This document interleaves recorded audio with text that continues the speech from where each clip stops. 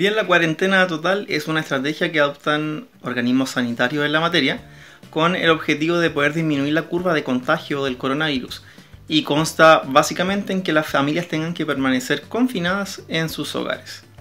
A esta iniciativa se han sumado algunas comunas de la región metropolitana donde se ha observado que existe una alta prevalencia y una alta incidencia para COVID-19. Además de esta medida, se han reestructurado y se han intensificado las aduanas sanitarias en dicho sector que permiten tener un mejor control de las personas que circulan y su estado de salud. Nos vemos en una próxima cápsula en Campus TV.